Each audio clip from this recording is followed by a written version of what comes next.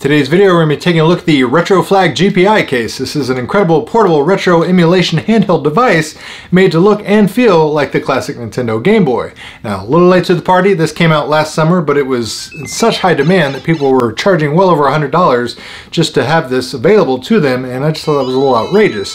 Currently, you can get this for less than $70 shipped to your door, free shipping included from TomTop and Amazon. So without further ado, let's take a closer look at the RetroFlag GPI case. Coming up.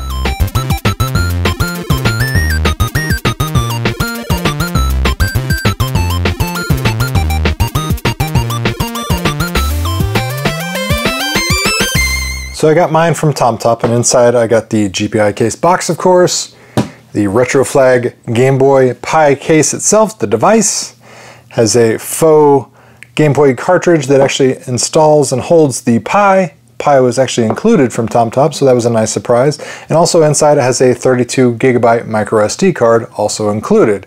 We have our DC power USB wall adapter, and then we also had a little micro tiny screwdriver in case you wanted to take off the back of this and access the Pi inside.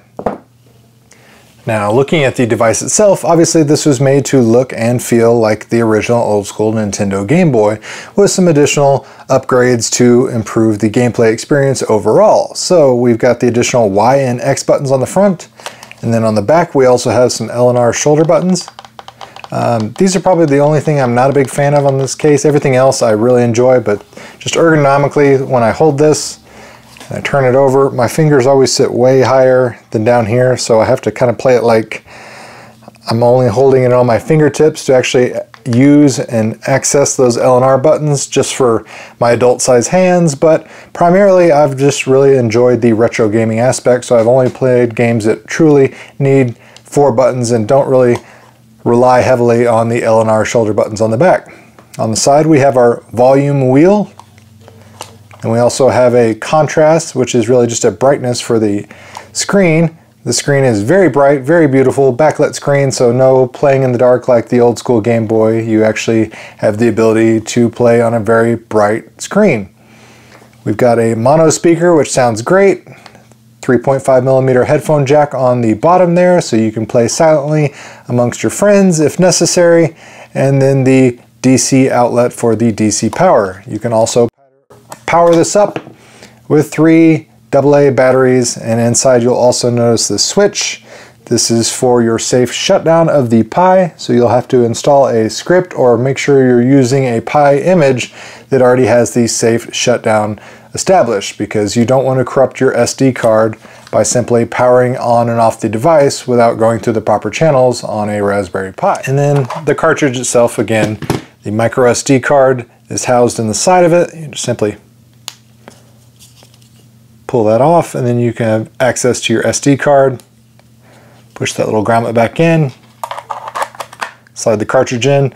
I love how they put that together. I mean, it looks exceptionally authentic to the old school Game Boy cartridges and it just really nails the look and the feel that they were truly going for as far as replicating the old school Nintendo Game Boy.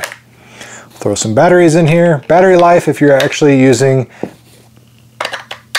old school batteries, you're going to get about three to five hours depending on the games and the emulators you're using because some are more taxing than others. But go ahead and power it up and we'll show you some gameplay. Alright, so on this image we got a little bit of everything. We got arcade classics, we got Atari, we got Atari 7800, we got the Daphne emulator, we got the family computer system, Game Gear, Game Boy, Game Boy Advance, Game Boy Color, Sega Master System, Mega Drive, Neo Geo, NES, PC Engine, PlayStation. Then we got our options, Sega CD, Super NES, Sega SG-1000, Super Nintendo, TurboGrafx 16, and then we get the all games. So